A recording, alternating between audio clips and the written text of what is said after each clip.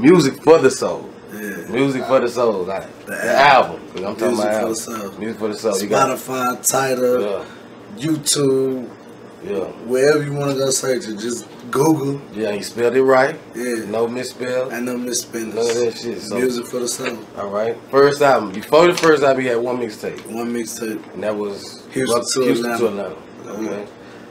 so that was you dropped that as soon as you got out. Nah, Nah, I About- tried to work. Shit. about two years. I tried to work. You know what I'm saying? Like the first year I got out. Okay. Worked on the back of a trash truck and all that shit. But I, I quit. Not for you. Yeah. Not a five ain't for you. Nah. You tried it though.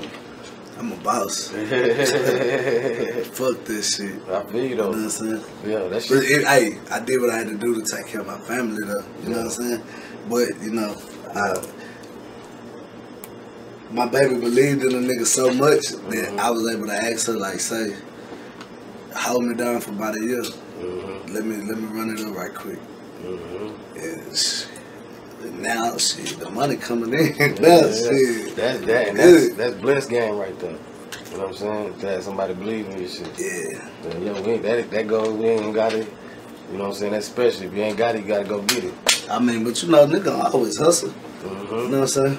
Nigga always bring it in. Yeah. So, With the rap shit, start on some hustle. You know what I'm saying? There's so many different ways to get your money on the bread. You know what I'm saying? You're gonna give advice to a nigga who want to get in the game.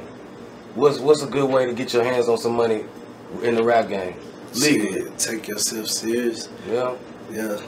Mhm. Take yourself serious. For for a year straight. Yeah. But you gotta get in the right positions too. Yeah. Because for a year straight, everything on Instagram was about family and rap, but it was more rap. I ain't, I, I, you ain't never seen me post no pistols on my Instagram. You ain't never seen me doing no dumb shit. Like everything, I'm, I'm a rapper. Mhm. This what I do. I rap. Yeah. If you don't like it, fuck you. Get off my page. Shit. Mhm. But I rap. I started Trio Tuesdays. Once a week, I was killing shit Yeah. to what people like, damn, who that little nigga is. Mhm. And then I came across that uh, the Deshaun freestyle. Mm.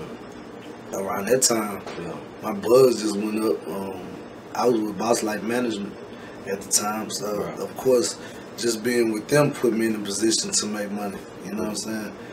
Different shows, um, you know, people want features, uh, people want, I guess they call it clout, but people want the the attention that I'm getting. So people were like, shit, let me buy a feature from you, post it on your page. Shit, bet it's gonna run you this, this, that, and niggas dropping it. Yeah. Then I got with Bonafide, you know what I'm saying? And I started doing big big shows, you know what I'm saying? Also, piece by piece. yeah, and it's just I work with the puzzle, you know what I'm saying? So Yeah. So the best thing is to you ain't gonna really get you what you saying you ain't gonna get to no money until you really take it serious. yeah, Like a job. I mean, you gotta, and when I say take it serious, you know what I'm saying? I ain't just the game is to be sold, you know what I'm saying? Not told, but Gotcha. you know. But what I can say, you know, get your paperwork right. You know, nobody gonna take you serious if a nigga trying to sign you or a nigga about to do something with you and then your name ain't copyrighted, you, you ain't got really no ideas, your music sound trash, you gotta mm-hmm. invest in yourself. Get your shit mixed and mastered if you're gonna take a demo somewhere. Can't tell nobody you rapping and when a nigga be like, spit something, or what you got, send me something. Yeah. Oh nah, I just freestyle.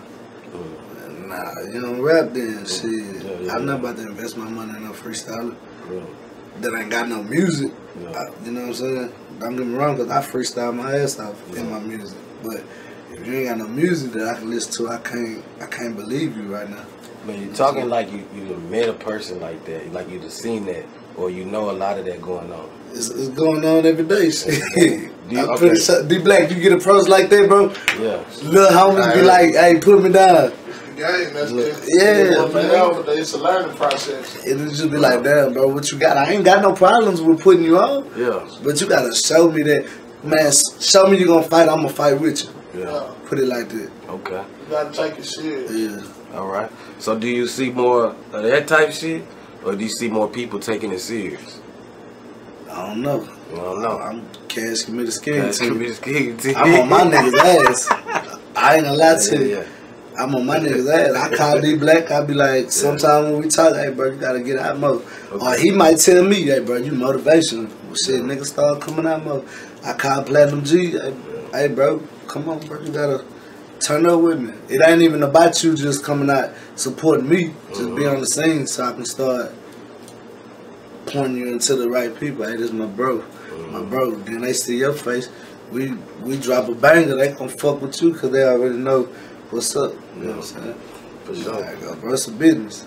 It's politics. It's Like positive politics. Then you got the negative politics. Just gotta pick one. Yeah,